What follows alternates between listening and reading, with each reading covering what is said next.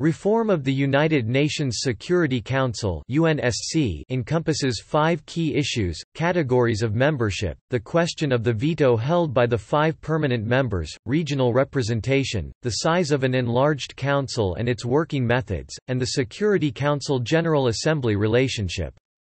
Member states, regional groups and other member state interest groupings developed different positions and proposals on how to move forward on this contested issue. Any reform of the Security Council would require the agreement of at least two-thirds of UN member states in a vote in the General Assembly, and must be ratified by two-thirds of member states. All of the permanent members of the UNSC which have veto rights must also agree.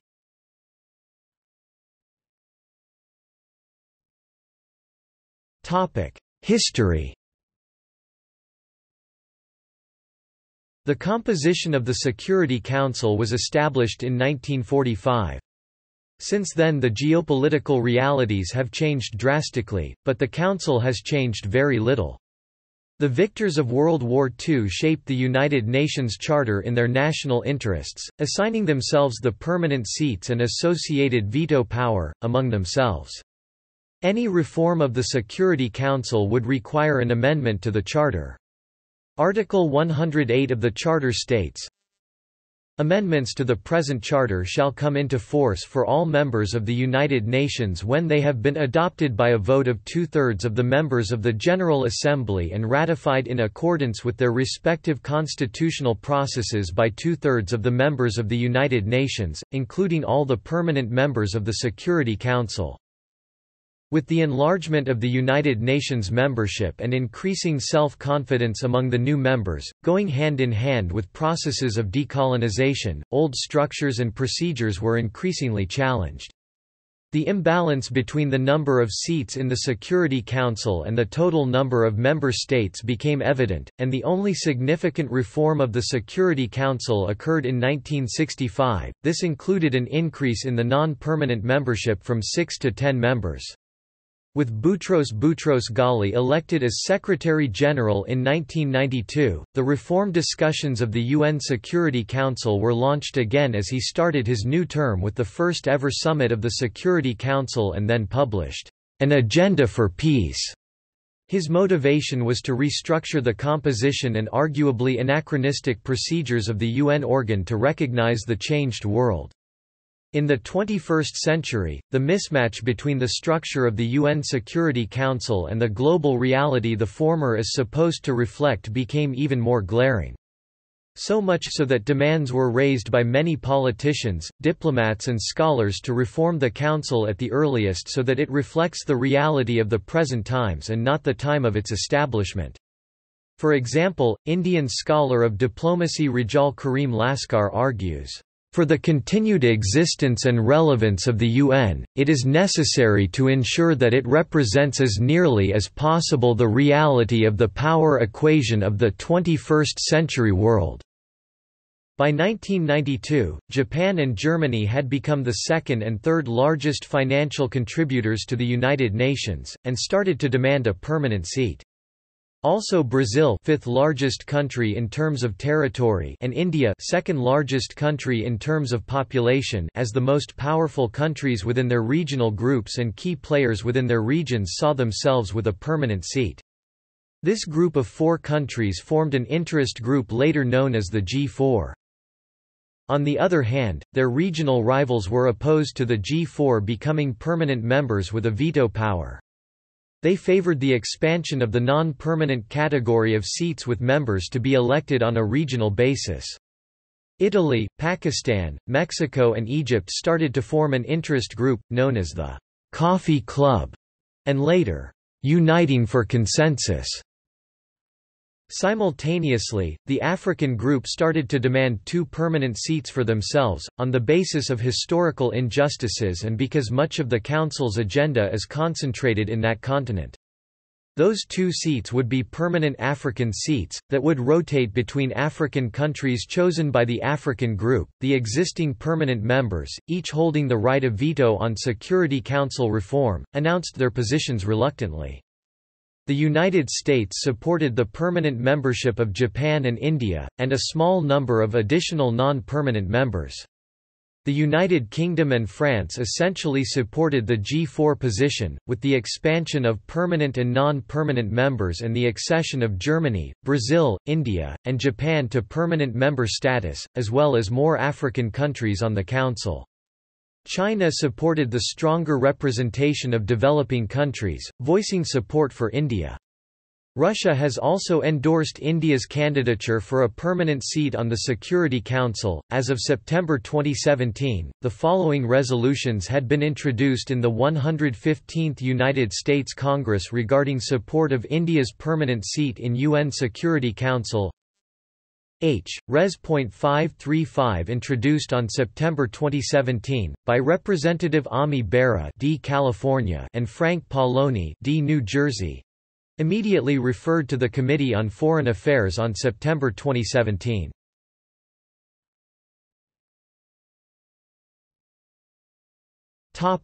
General Assembly Task Force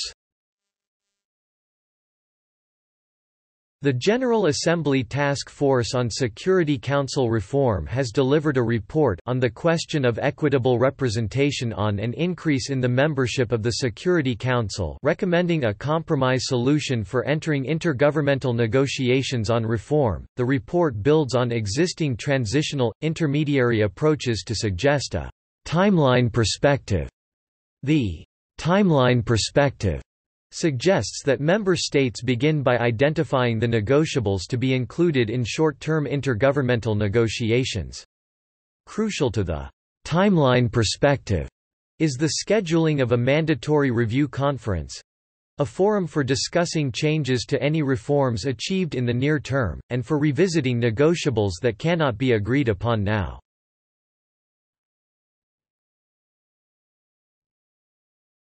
Topic: Increasing membership.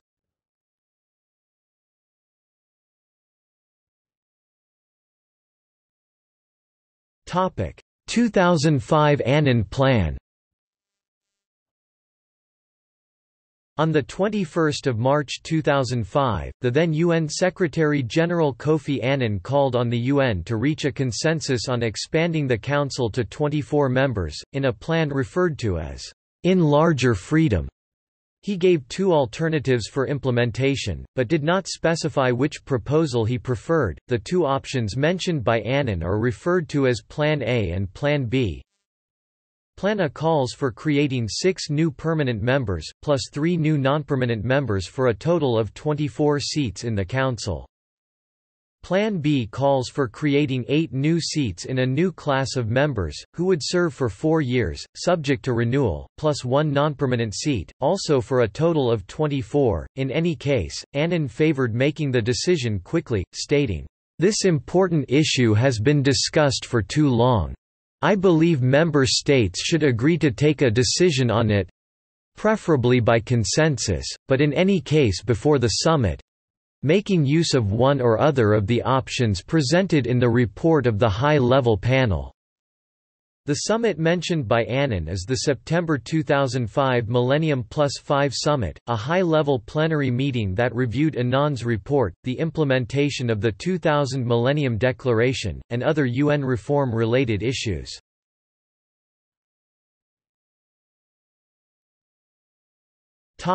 Uniting for consensus On 26 July 2005, five UN member countries, Italy, Argentina, Canada, Colombia and Pakistan, representing a larger group of countries called Uniting for Consensus led by Italy, proposed to the General Assembly another project that maintains five permanent members and raises the number of non-permanent members to 20. On May 2011, 120 UN member states participated in a Uniting for Consensus meeting in Rome.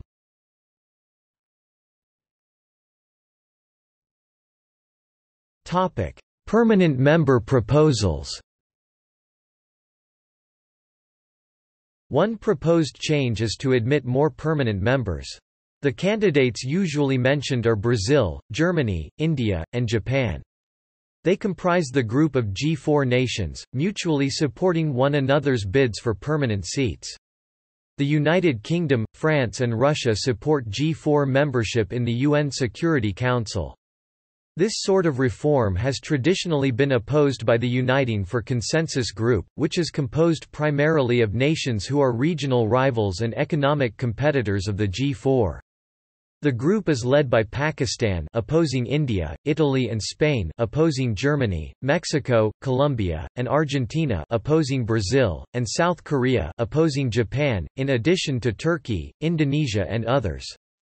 Since 1992, Italy and other members of the group have instead proposed semi-permanent seats or the expansion of the number of temporary seats. Most of the leading candidates for permanent membership are regularly elected onto the Security Council by their respective continental groups. Japan was elected for 11 two-year terms, Brazil for 10 terms, and Germany for 3 terms. India has been elected to the Council seven times in total, with the most recent successful bid being in 2010 after a gap of almost 20 years since 1991–92. In 2017, it was reported that the G4 nations were willing to temporarily forego veto power if granted a permanent UNSC seat. As of 2013, the current P5 members of the Security Council, along with the G4, account for eight of the world's ten largest defense budgets, according to SIPRI. They also account for nine of the ten largest economies by both nominal GDP and purchasing power parity GDP.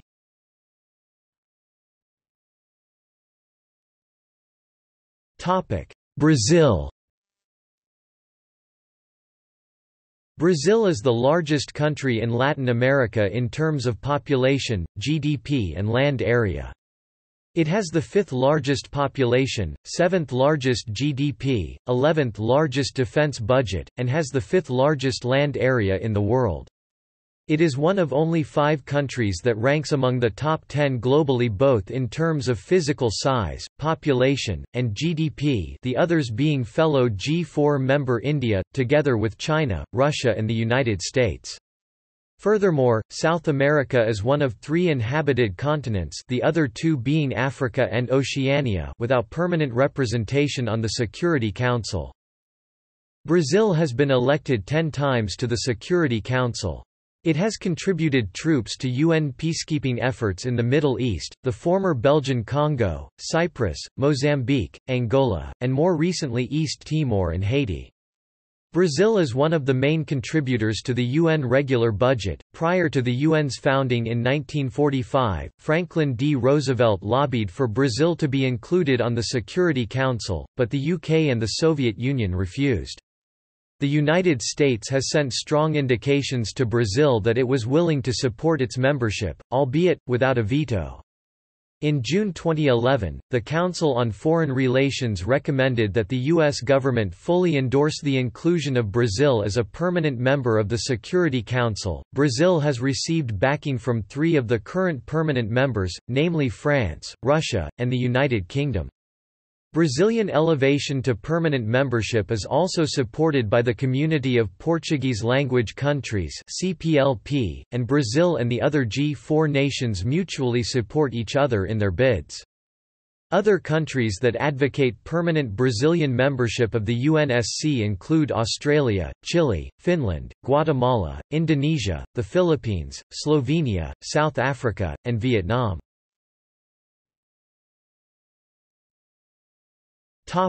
Germany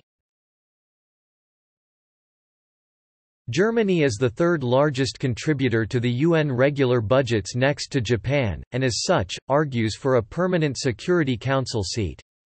Germany has been elected to the Security Council as a non-permanent member three times as a unified state, as well as three times when it was divided twice for the West, once for the East. France has explicitly called for a permanent seat in the UN for its close EU partner. Germany's engagement, its ranking as a great power, its international influence France would like to see them recognized with a permanent seat on the Security Council. French President Jacques Chirac said in a speech in Berlin in 2000. The former German Chancellor, Gerhard Schroeder, also identified Russia, among other countries, as a country that backed Germany's bid. Former President Fidel V. Ramos of the Philippines also expressed his country's support for Germany's bid, together with Japan's. Italy and the Netherlands on the contrary, suggest a common European Union seat in the Council instead of Germany becoming the third European member next to France and the UK.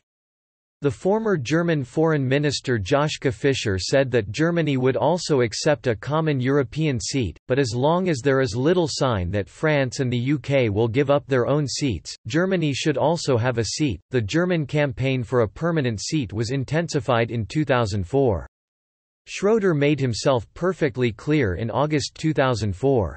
Germany has the right to a seat. Its bid is supported by Japan, India, Brazil, France, the United Kingdom and Russia, among other countries. Current German Chancellor Angela Merkel, who had initially been quiet on the issue, restated Germany's bid in her address to the UN General Assembly in September 2007. In July 2011, Merkel's trip to Kenya, Angola, and Nigeria was thought to be motivated, in part, by the goal of seeking support from African countries for Germany's bid for a permanent seat on the Security Council.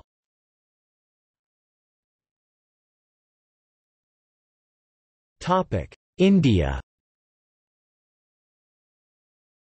India, which joined the UN in 1945, two years before independence in 1947, is the second largest and one of the largest constant contributors of troops to the United Nations peacekeeping missions.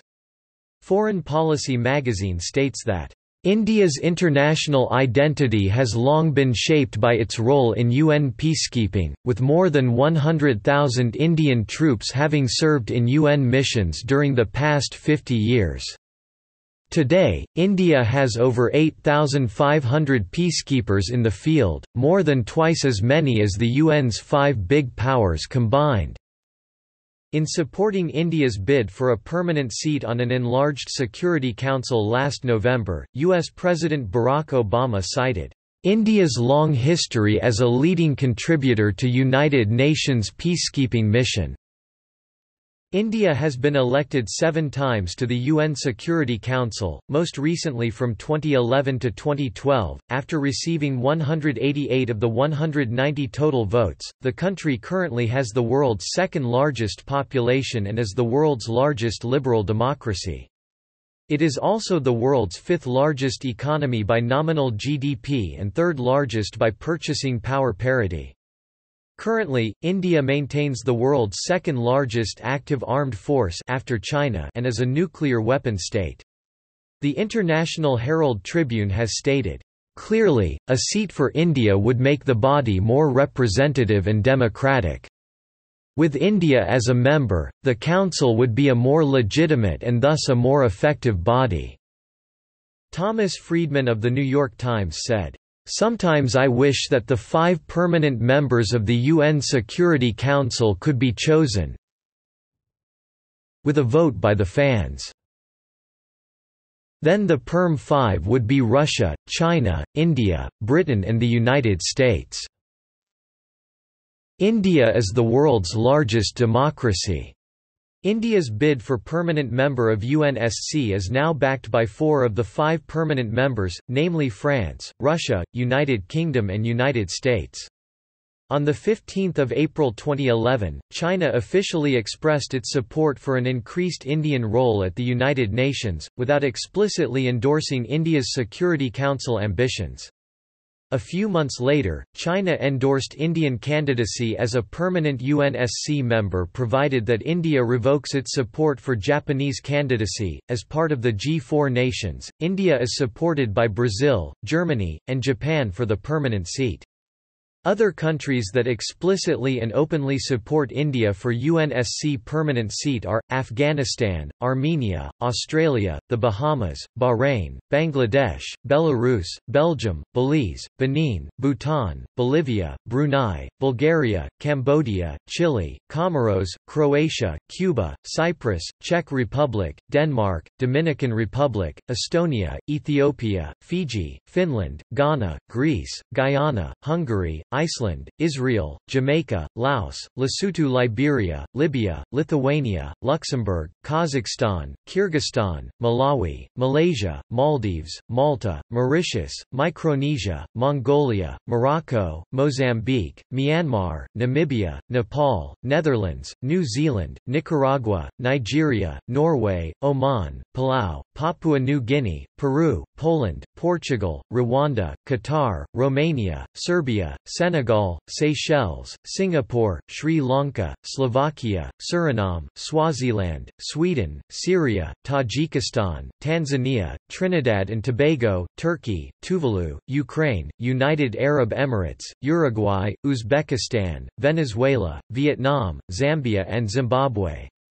As a whole, the African Union also supports India's candidacy for permanent member of the UNSC.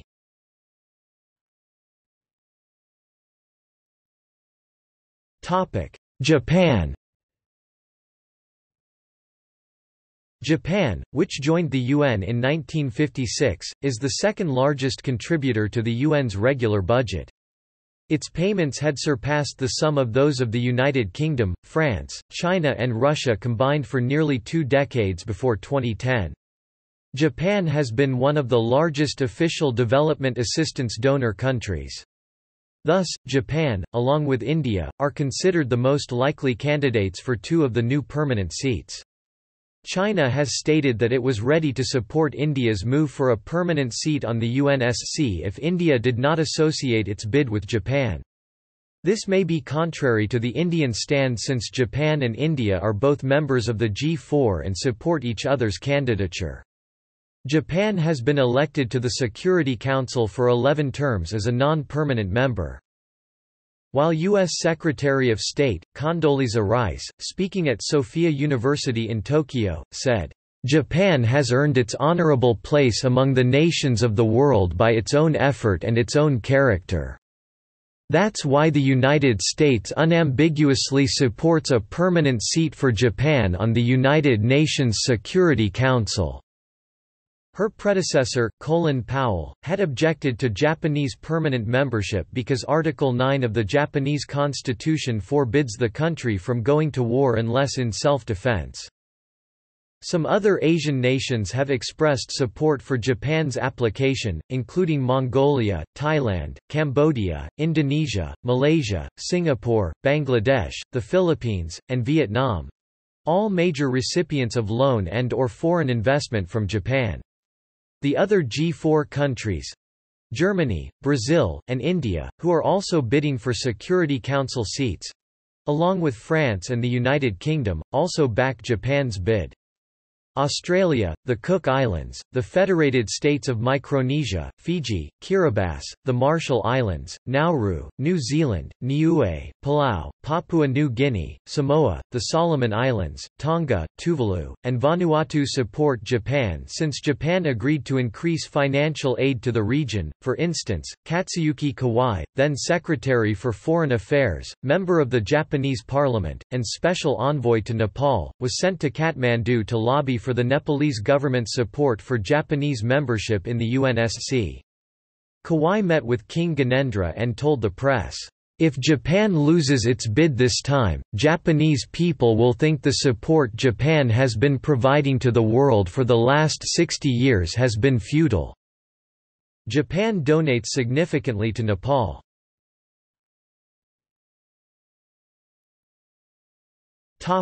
Africa It has also been suggested that an African nation be given a seat on the Security Council, with Algeria, Egypt, Nigeria, and South Africa the most likely contenders. Currently, no country in Africa has a permanent seat on the Security Council. Although no one nation from Africa has formally been put forward as a candidate for membership on the Security Council, Algeria, Egypt, Ethiopia, Kenya, Nigeria, and South Africa are seen as the strongest choices.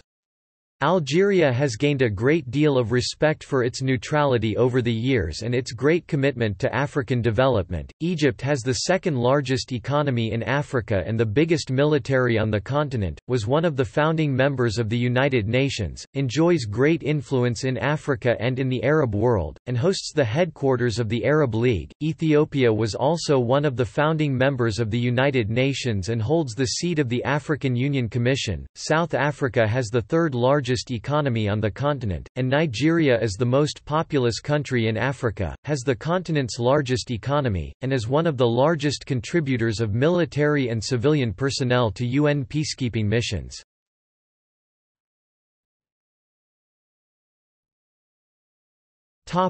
Veto reform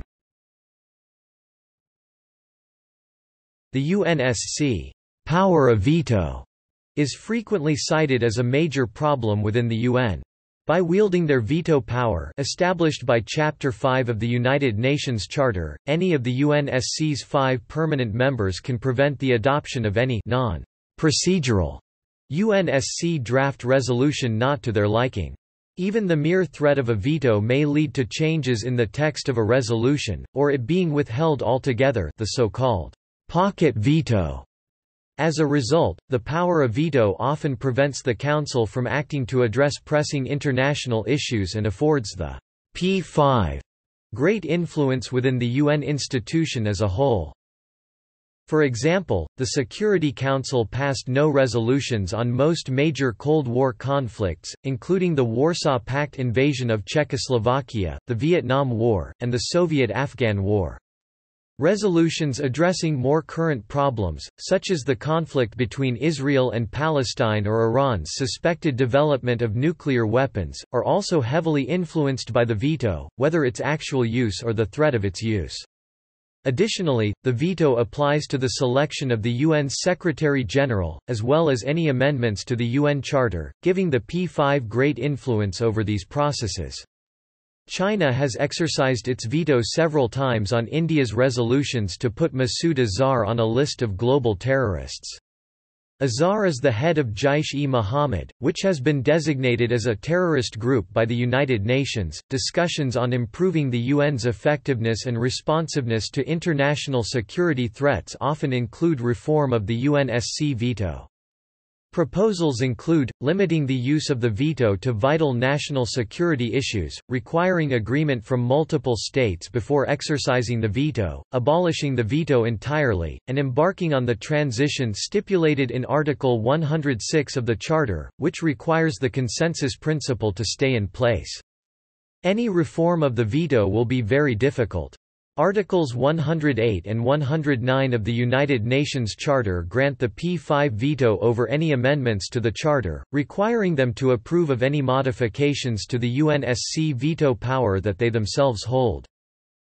Pursuant to United Nations General Assembly Resolution 377 Uniting for Peace, in cases where the Security Council, because of lack of unanimity of the permanent members, fails to exercise its primary responsibility for the maintenance of international peace and security in any case where there appears to be a threat to the peace, breach of the peace, or act of aggression, the General Assembly shall consider the matter immediately with a view to making appropriate recommendations to members for collective measures, including in the case of a breach of the peace or act of aggression the use of armed force when necessary, to maintain or restore international peace and security.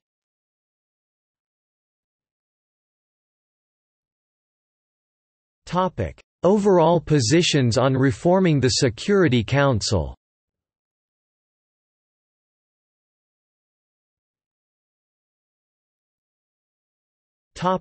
Brazil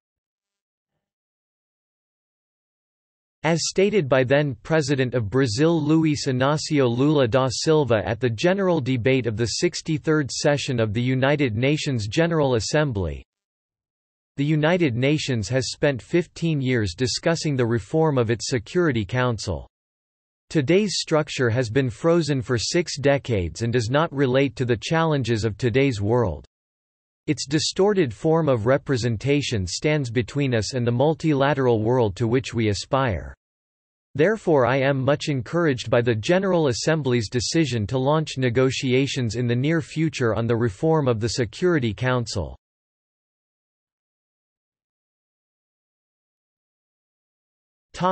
India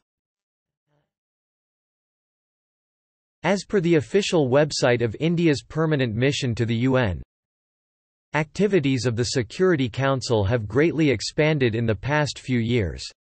The success of Security Council's actions depends upon political support of the international community. Any package for restructuring of the Security Council should, therefore, be broad-based. In particular, adequate presence of developing countries is needed in the Security Council. Nations of the world must feel that their stakes in global peace and prosperity are factored into the UN's decision-making. Any expansion of permanent members category must be based on an agreed criteria, rather than be a predetermined selection. There must be an inclusive approach based on transparent consultations. India supports expansion of both permanent and non-permanent members category. The latter is the only avenue for the vast majority of member states to serve on the Security Council. Reform and expansion must be an integral part of a common package. According to a formal statement by 13th Prime Minister of India Manmohan Singh at the general debate of the 59th session of the United Nations General Assembly, it is common knowledge that the United Nations is often unable to exert an effective influence on global economic and political issues of critical importance. This is due to its what may be called as democracy deficit which prevents effective multilateralism, a multilateralism that is based on a democratically evolved global consensus. Therefore, reform and restructuring of the United Nations system can alone provide a crucial link in an expanding chain of efforts to refashion international structures, imbuing them with a greater degree of participatory decision-making, so as to make them more representative of contemporary realities. The expansion of the Security Council, in the category of both permanent and non-permanent members, and the inclusion of countries like India as permanent members, would be a first step in the process of making the United Nations a truly representative body. According to a formal statement by 14th Prime Minister of India Narendra Modi at the general debate of the 69th session of the United Nations General Assembly, we must reform the United Nations, including the Security Council, and make it more democratic and participative. Institutions that reflect the imperatives of 20th century won't be effective in the 21st. It would face the risk of irrelevance, and we will face the risk of continuing turbulence with no one capable of addressing it. Next year we will be 70, we should ask ourselves whether we should wait until we are 80 or 100. Let us fulfill our promise to reform the United Nations Security Council by 2015. Let us fulfill our pledge on a post-2015 development agenda so that there is new hope and belief in us around the world. Let us make 2015 also a new watershed for a sustainable world. Let it be the beginning of a new journey together. Topic: Lithuania According to a formal statement by Antanas Valionis, former Lithuanian Minister of Foreign Affairs, at the general debate of the 58th session of the United Nations, the Security Council must be able to take leadership in maintaining international peace and security. Thus Lithuania supports substantial reform for the better, equitable representation in both categories, permanent or non-permanent, through the inclusion of Germany and Japan, as well as certain other leading countries from other regions.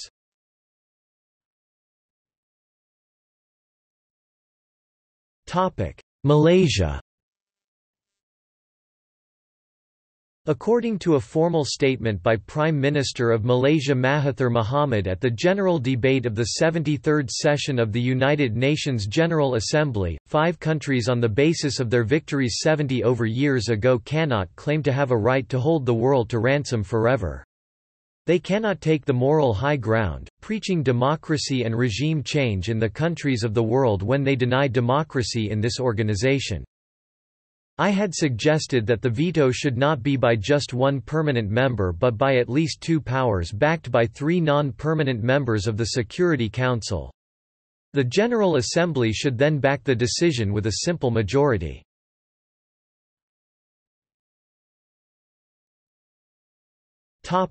Portugal As stated by former Prime Minister of Portugal José Sócrates, the 15-member Security Council must be enlarged so that it is more representative, transparent and efficient. In our view it is illogical that countries like Brazil or India that have today an irreplaceable economic and political role are still not permanent members of the Security Council. Africa also deserves consideration to take due account of the remarkable political and economic progresses that we have witnessed in that vast continent.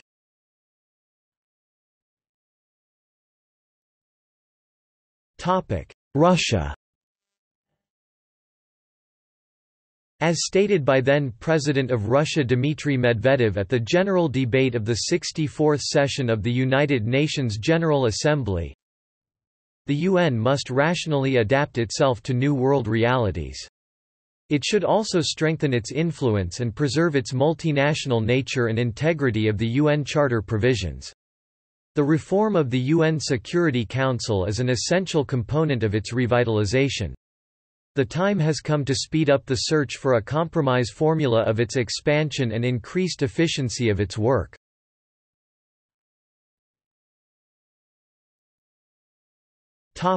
South Africa According to a formal statement by South Africa's International Relations Minister Maite Nkoana Mashabane speaking in the South African Parliament in Cape Town, the United Nations Security Council UNSC urgently requires reform to rectify inequitable power relations.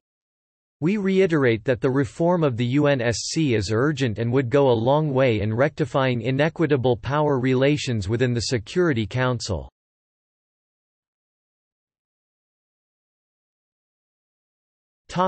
United Kingdom and France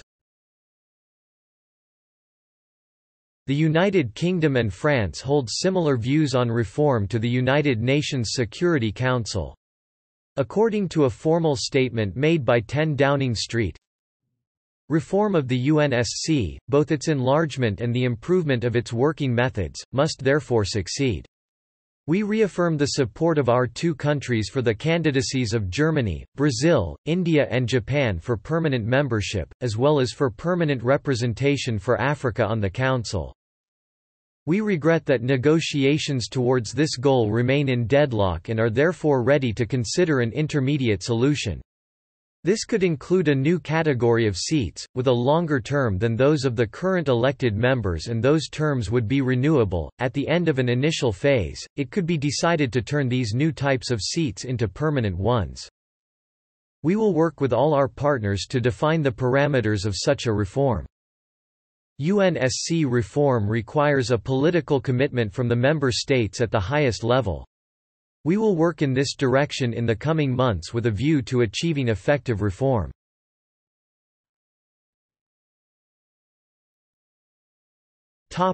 United States According to a formal statement by the United States Department of State, the United States is open to UN Security Council reform and expansion, as one element of an overall agenda for UN reform. We advocate a criteria-based approach under which potential members must be supremely well qualified, based on factors such as, economic size, population, military capacity, commitment to democracy and human rights, financial contributions to the UN, contributions to UN peacekeeping, and record on counter-terrorism and nonproliferation. We have to look, of course, at the overall geographic balance of the Council, but effectiveness remains the benchmark for any reform. According to a formal statement by U.S. President Barack Obama in an address to a joint session of the Indian Parliament, we salute India's long history as a leading contributor to United Nations peacekeeping missions. And we welcome India as it prepares to take its seat on the United Nations Security Council. As two global leaders, the United States and India can partner for global security, especially as India serves on the Security Council over the next two years. Indeed, the just and sustainable international order that America seeks includes a United Nations that is efficient, effective, credible and legitimate. That is why I can say today, in the years ahead, I look forward to a reformed United Nations Security Council that includes India as a permanent member. The United Nations exists to fulfill its founding ideals of preserving peace and security, promoting global cooperation, and advancing human rights. These are the responsibilities of all nations, but especially those that seek to lead in the 21st century. And so we look forward to working with India and other nations that aspire to Security Council membership to ensure that the Security Council is effective, that resolutions are implemented, that sanctions are enforced, that we strengthen the international norms which recognize the rights and responsibilities of all nations and all individuals.